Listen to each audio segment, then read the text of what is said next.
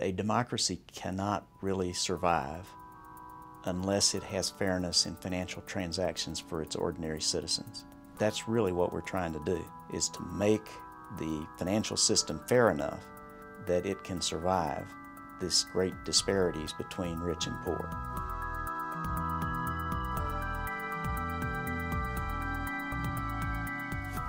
The Center for Responsible Lending is targeted at saving and promoting family wealth through homeownership and by preventing abusive financial practices by large industry players, payday lenders in particular, who would make a $300 or a $500 loan at 400% interest rate.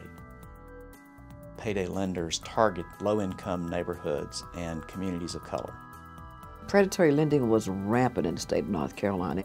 And we saw people having all types of problems. You saw people, one, becoming homeless, people losing their houses, people losing their cars, people can't pay utility bills, you know. So first step was to stop that in the state of North Carolina.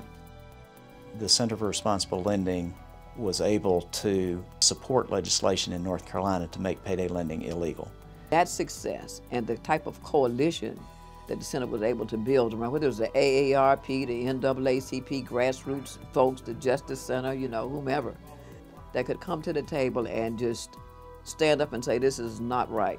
We couldn't accomplish much of anything by ourselves, but when we join with organizations all across the country and jointly, hand in hand, move for a policy that will protect real families against practices that have been abusive for years, we actually can make a difference. The work is not finished. There are still uh, dramatic challenges for family security for working families. What I like most about this particular award is that it lets us say to the bad guys that we're going to be here forever. We're going to build this into an endowment and we're going to be in your face for as long as time continues.